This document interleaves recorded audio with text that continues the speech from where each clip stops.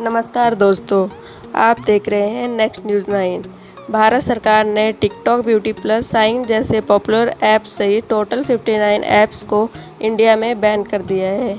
इन Chinese apps के server Bharat से बाहर मौजूद थे, जिससे चाइना हमारा डाटा कभी भी चुरा सकता था।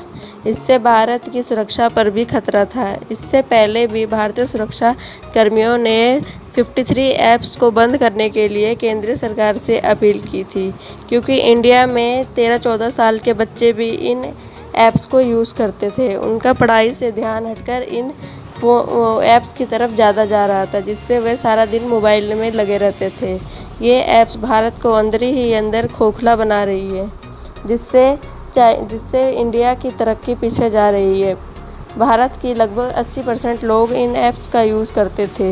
ये सारे ऐप्स चाइना में बने हैं। वहाँ के लोग इन ऐप्स का यूज़ नहीं करते हैं।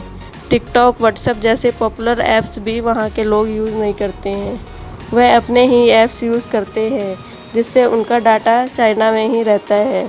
इस तरह इस तरह चाइना भारत को धीरे ही धीरे खोखला बना रहा है। भारत सरकार ने 59 ऐप्स को बैन करके चाइना को एक करारा जवाब दिया है। अगर ये वीडियो आपको पसंद आई हो तो चैनल को लाइक करें, सब्सक्राइब करें और बेल आइकन दबा दें।